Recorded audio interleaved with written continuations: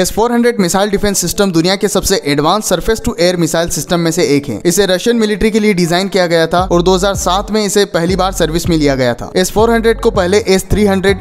भी कहा जाता था क्योंकि ये सिस्टम एस थ्री फैमिली का ही एक मॉडिफाइड वर्जन है जो की सबसे पहले नाइनटीन में सर्विस में आया था एस फोर मिसाइल्स और एयरक्राफ्ट को छह किलोमीटर की रेंज तक ट्रैक कर सकता है और 400 किलोमीटर तक एक्यूरेट टेकडाउन भी कर सकता है चाहे टारगेट सर्फेस के 30 किलोमीटर ऊपर तक ही क्यों ना हो यही नहीं अगर टारगेट पांच किलोमीटर के आसपास भी है तो भी ये डिफेंस सिस्टम उसे शूट कर सकता है रशिया के अलावा ये सिस्टम चाइना इंडिया और टर्की के पास में है इंडिया ने इसके पांच यूनिट खरीदे हैं जिनके हर यूनिट की प्राइस आठ हजार करोड़ रुपए है